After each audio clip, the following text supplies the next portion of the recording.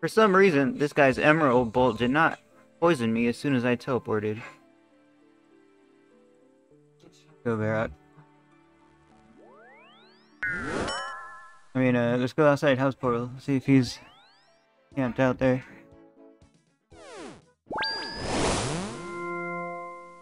He just might be. Oh!